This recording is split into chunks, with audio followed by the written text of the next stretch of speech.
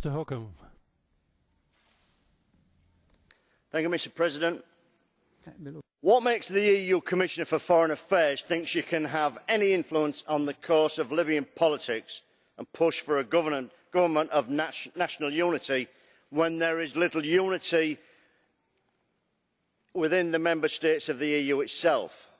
Just look at the individual member states' reaction to the current migrant crisis.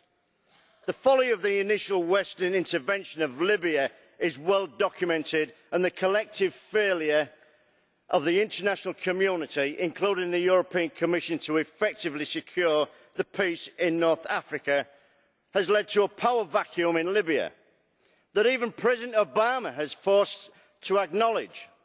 This in turn has created a breeding ground for terrorist groups such as Islamic State to build fiefdoms, operate criminal empires with impunity and threaten the very fabric of security in the EU's member states by flooding the continent with their fighters.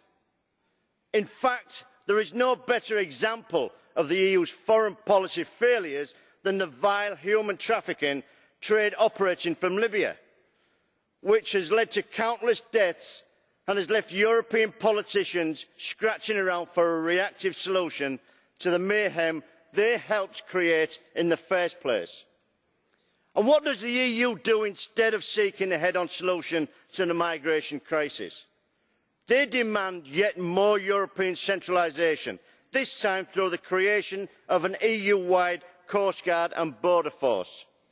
Having seen what has happened to countries that put their trust in the EU's management of the euro, I would not trust any EU bureaucrat to effectively police our seas, secure our borders or give advice on unity governance.